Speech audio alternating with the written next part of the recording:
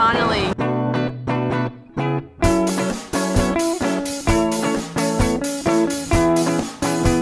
So we're about to head on to the NC500 now.